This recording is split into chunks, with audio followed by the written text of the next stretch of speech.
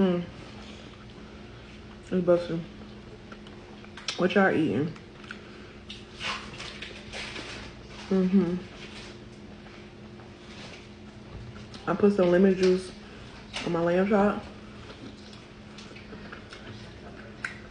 No, these not the lollipop. These are the blade, the blade chops. I got these from Publix. Comment below if you like Publix.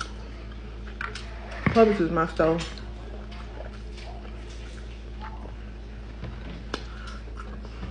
Mm.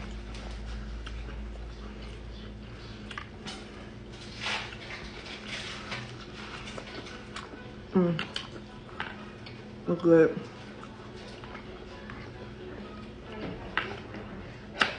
Lemon juice and lamb